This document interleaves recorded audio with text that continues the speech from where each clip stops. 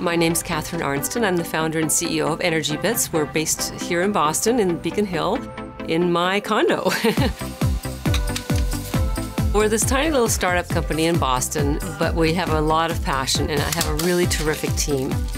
And we all want to help build a community based on health and nutrition that's natural. We sell algae in small tablet form. Algae provides you with a lot of energy, a lot of focus, and it's all natural. So Energy Bits has been really quickly embraced by the running community nationwide.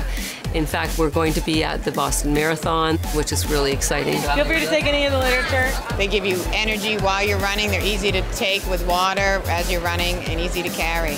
In the afternoon, I take my 30 energy bits. They keep me going for the rest of the day as I coach track and run around and pick up my kids and my grandkids. They're great. We work with uh, NHL, NFL players, Olympic athletes. We're doing things that people would never believe a small startup could do, like go to the Winter Olympics. So we were very excited about being in Sochi.